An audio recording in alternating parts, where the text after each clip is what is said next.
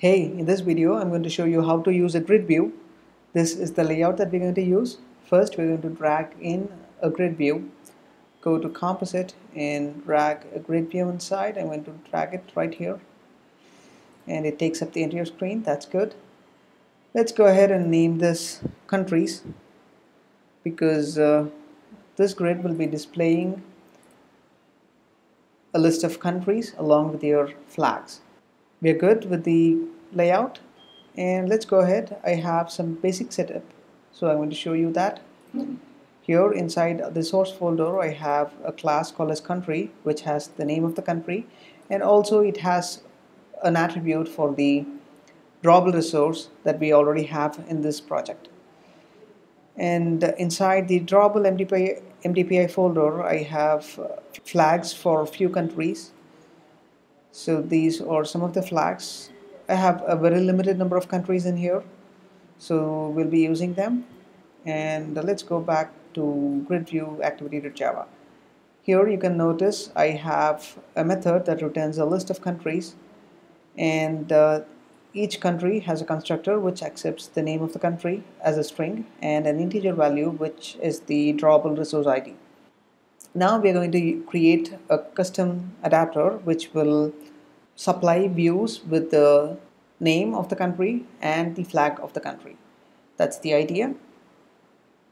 Let's save all the resources and uh, before we create the custom adapter we'll need a view for the grid item so let's go ahead to layout and I'm going to create a new another XML file and this will represent a grid item.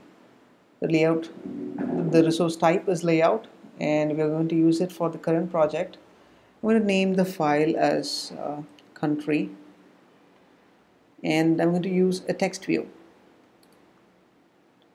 That's because uh, we have already learned about compound drawables. So this text view will be displaying the name of the country and we'll also have a compound drawable that can display the country's flag. Click on finish. Here it is. So we have created a new layout called country.xml and uh, this is the layout. You can see this layout has just a text view. Now we're going to add some dummy images and text to this text view. I'm going to give this an ID, country, and text is going to be hello world. Okay, and now we are going to use the compound drawable property. Scroll down, and uh, here it is. We're going to use this drawable top property, and from the list of property, I'm going to select Australia, and here it is. You can see the Draw compound drawable is at the center of the screen whereas the text is aligned to the left. To fix that we have to set the gravity property. Let's go and look for gravity and here I'm going to check center. Click on OK. The text is centered but it, is still not where we want it.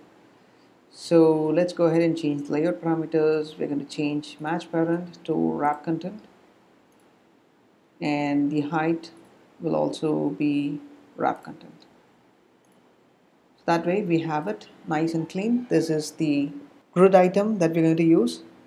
Save this layout and let's close this, go back to grid view activity. In this grid view activity, I already have a reference variable for the list of countries that we're going to use. The next step is to create a custom adapter. To create a custom adapter, we're going to create a new private class, private class, country adapter, extends array adapter. And for the generic, we're going to pass country. So here it is. Let's go ahead and add a constructor that accepts a list parameter nice and clean I'm going to rename this objects parameter by holding on to the option command and R key this is the shortcut for refactor. I'm going to re rename this objects as countries. And press enter. There it is.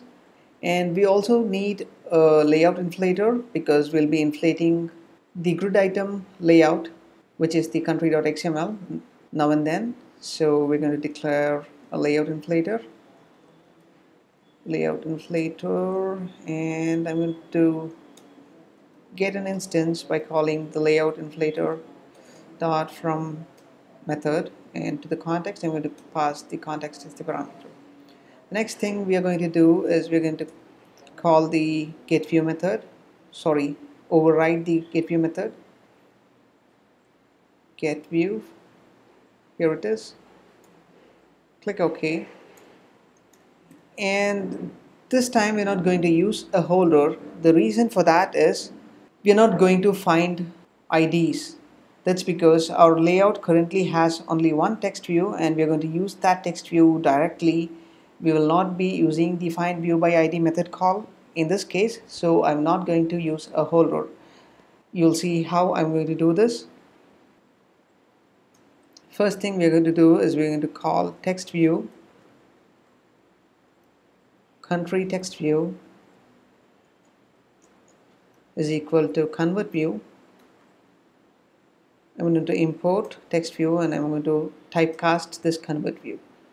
What happens here is I'm going to assign this convert view to the text view. If the convert view is equal to null then we are going to inflate the layout which is r dot layout dot country. The root is null so that is it. And finally we are going to return the country text view. So now we have uh, we get the recycled view. And if we check if it is null which is if the text view is null we're going to inflate it. If not we're going to get the country get item of position. So this will return the country that is associated with the given position. And we're going to say country text view dot set text.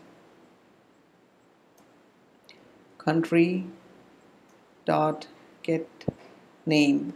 So we we are assigning the name of the country to this text view and I made a mistake here which is it, this is not convert view it should actually be country text view. And I'm also going to typecast this. So this is good now. You can see that we have uh, obtained the country that is associated with the position. And we have also set the text property of the country text view. The other one we're going to do here is we're going to set the compound drawable property set compound drawables with intrinsic bounds. Left is going to be null. And the top get resources dot get drawable which is going to be country dot get flag resource ID so we'll be having a draw a drawable at the top. And for right pass null and for bottom pass null since we'll be calling this method often let's go ahead and create an instance variable for that. Private resources. Resources. So that's it. Resources is equal to get resources. And here we're going to call resources dot get raw that's it so this is properly done because uh, we are trying to use the recycled view in a proper way. Though this adapter does not use a holder it is still efficient. We get the recycle view we check if the recycle view is null. If it is null we just inflate a new view. And uh, we get the country that is associated with this position and set its name and a drawable to the country text view. Finally we return the view. We are done with this let's go ahead. Now we need to declare a reference variable for our grid view. Countries grid view. Let me go ahead and import it. Let's get a reference to the countries grid view we're calling the find view by id id dot countries. I'm going to add a typecast to this. And then we have the list of countries here. The next thing we're going to do is we're going to set an adapter to the countries grid view. So countries grid view dot set adapter of new country adapter. Context is this and the text view resource ID does not have much meaning we're going to use dot layout country and for the list of countries we're going to pass the list of countries. That's it. Save it. And let's go ahead run this application.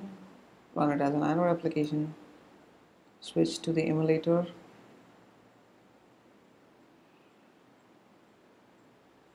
Here it is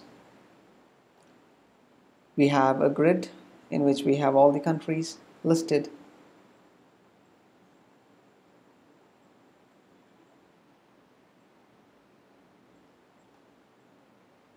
However, there are uh, there are properties that I would like to show you. So let's go back to grid view, and uh, here you can see we have the number of columns, which specifies the number of columns. You can also use autofit, or in case if you want two columns, you can specify two. That really depends upon your preference and there is also, also a horizontal property that specifies the minimum horizontal spacing between two grid items. It is usually specified in this device independent pixels. I'm going to make it 10 dp and also we have the vertical spacing which specifies the minimum vertical spacing between two grid items vertically. I'm going to give this 10 dp as well. That's it. Let's save this and run this program once again. Switching to the emulator.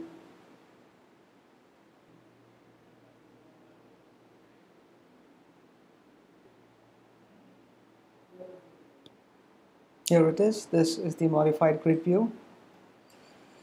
So that's how you use a grid view in Android. Uh, basically the usage of the list view is not much different from the grid view you use the same kind of custom adapter that is already used with uh, list view the only thing is if you want to have your data items listed in rows, then you have to go for list item. Whereas if you want, if you are looking for rows as well as columns, then you might have to use a grid view. If you have any questions on this topic, please feel free to ask. Thank you.